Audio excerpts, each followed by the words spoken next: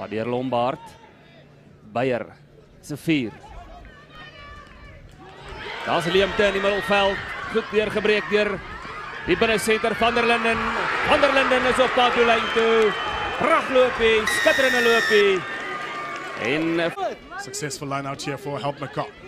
Good switching around there and eh, uh, a VCO pod administered there for one of the Durbanville uh, players.